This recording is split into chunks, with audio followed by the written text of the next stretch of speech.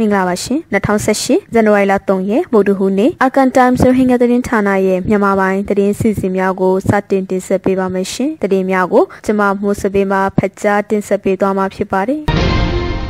ကုလသမဂ္ဂအတွင်းရေးမှူးချုပ်အန်တိုနီယိုဂူတာရက်စ်ရဲ့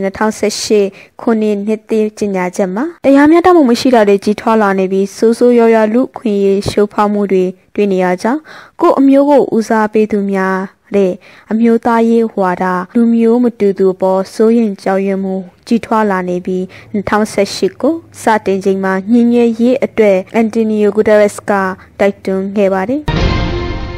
2018ဇန်နဝါရီလတရက်နေ့ကမောင်တော်တောင်မျိုးလက်ဝဲတွင်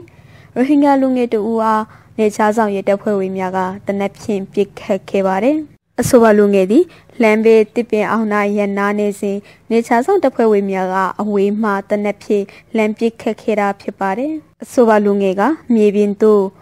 လေးရှာရှောင်းတင်ခဲ့ရာနဖူးကိုကြည်စံလျှော်တီးခဲ့သဖြင့်နဖူးတွင်ဒဏ်ရာရရှိခဲ့ပါတယ်။နေချာဆောင်မြရေးဖန်စီခေါ်ဆောင်သွားခြင်းကိုခံခဲ့ရပြီးနောက် ပြန်လေလွတ်ပေးခဲ့ပါတယ်။ရခိုင်ပြည်နယ်ရှိအစ္စလာမ်ဘာသာဝင်များဟာမြမလက်နက်ကင်အာဏာပိုင်များရဲ့နှိပ်စက်ညှဉ်းပန်းမှုကိုနှိမ့်စင်ဆိုသလိုခံစားနေရတာဖြစ်ပါတယ်။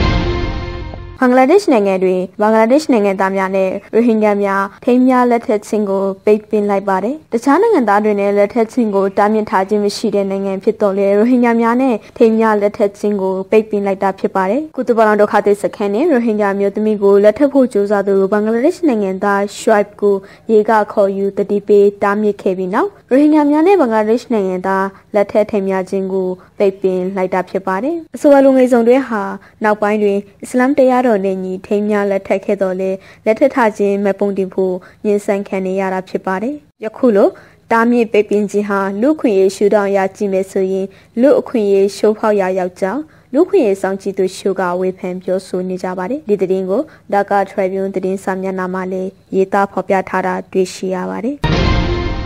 2018နှစ်တကူဟောကြားချက်ထဲမှာပုပ်ရဟန်းမင်းကြီး Francis ကဒုက္ခသည်တွေနဲ့ရွှေ့ပြောင်းနေထိုင်သူတွေရဲ့အဖြစ်ကကဘာမှာအားနည်းဆုံးနဲ့ကူညီမှုအလွယ်အစွန်းကိစ္စရဲ့ဖြစ်တယ်လို့ထည့်သွင်းဟောကြားခဲ့ပါတယ်။ဗာတီကန်နယ်တို့ရဲ့ယင်မြေမှာကျင်းပခဲ့တဲ့ပုပ်ရဟန်းမင်းကြီးရဲ့ဝတ်ပြုဆုတောင်းပွဲတွင်ပြည်သက်ပေါင်း၄တောင်းလောက်တက်ရောက်ခဲ့တာဖြစ်ပါတယ်။ ပုပ်ရဟန်းမင်းကြီးဖရန်စစ်ကဒုက္ခသည်တွေနဲ့ရှေ့ပြောင်းနေထိုင်သူတွေရဲ့အခက်အခဲတွေကိုပိုပြီးအကူအညီတွေပေးဖို့ကမ္ဘာကောင်ဆောင်တွေတည်ကြားနိုင်အောင်တိုက်တွန်းတယ်လို့လည်းဟောကြားခဲ့တာဖြစ်ပါတယ်။မကြခင်တော့သူဟာမြန်မာနိုင်ငံနဲ့ဘင်္ဂလားဒေ့ရှ်နိုင်ငံကိုတွားရောက်လေပတ်ခဲ့တာဖြစ်ပြီးဘင်္ဂလားဒေ့ရှ်နိုင်ငံတွင်ရိုဟင်ဂျာဒုက္ခသည်များနဲ့လည်းတွေ့ဆုံခဲ့ပါတယ်။နာဆင်သူတော်တော်ရှင်အပရိသတ်များအားလုံးကို Arkan Times ရိုဟင်ဂျာသတင်းဌာနမှအထူးပင်ကျေးဇူးတင်ရှိပါတယ်